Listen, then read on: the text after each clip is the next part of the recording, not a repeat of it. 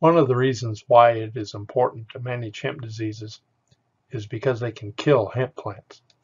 But hemp diseases aren't the only reasons why hemp plants die.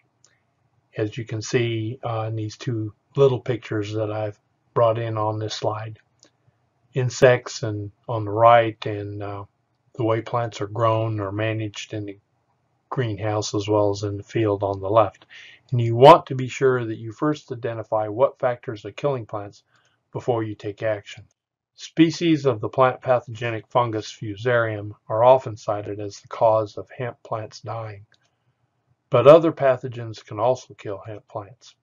Sometimes multiple pathogens can kill hemp plants in the same field, even the same area of a field. Southern blight or sclerotium or Athelia rolfsii is uh, also frequently called the reason why hemp plants die. Just because you see white fungal growth on an infected plant stem doesn't necessarily mean that southern blight is to blame. You need to see small, round, reddish-brown structures called sclerotia on the infected plant stem and the smaller picture on the left with the red arrow pointing at the sclerotia shows an example of what you need to look for. These sclerotia can also be on the soil around that stem and you need to see these sclerotia to be sure that the disease that's killing that plant is actually southern blight.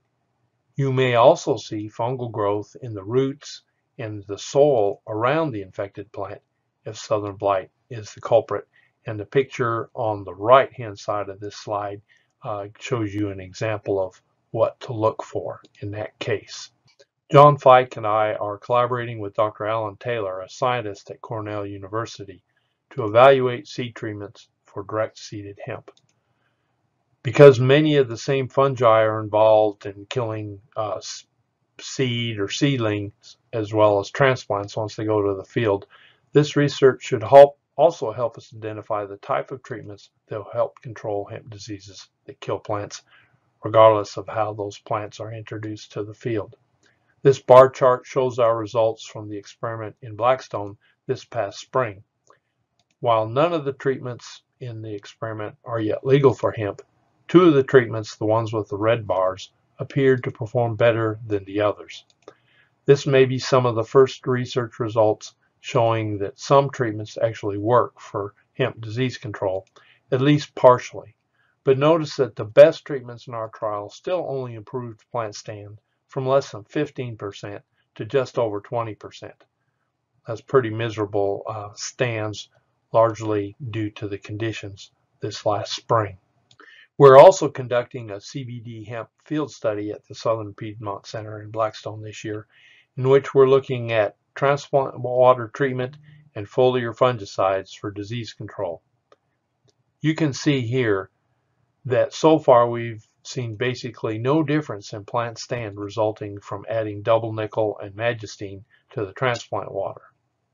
Likewise, we're comparing eight foliar fungicide treatments for hemp disease control. Each of these treatments has been applied to plots with and without a transplant water treatment. So far, none of these treatments have affected how many plants are living this far into the growing season. We are also rating hemp in this trial for vigor, which is basically plant size and apparent health on a scale of 0 to 5, where 5 is the best possible plant growth that you would expect for that particular day, and 0 would mean that all plants in a plot are dead. You can see here that again, while vigor seemed to be higher on the 11th of August compared to 16 July and 8 September, it was very similar regardless of what was or wasn't in the transplant water on the 29th of June when the experiment was established.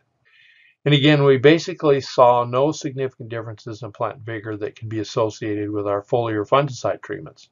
While you may notice some small differences among the treatments on each observation date, don't be fooled into thinking these are real.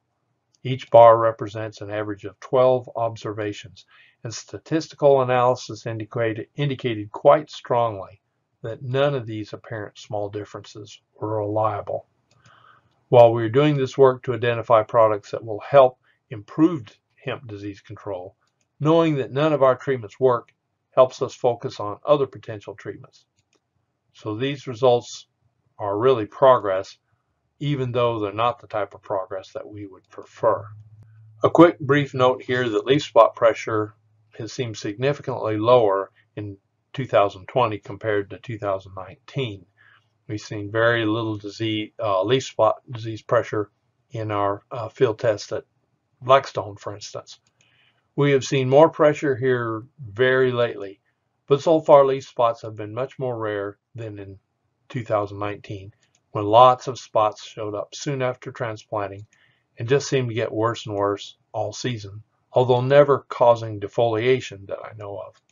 Hemp pathologists are currently thinking that these leaf spots may be ugly, but they may not cause any economic loss until they get so bad, so numerous, that leaves die and fall off the plant.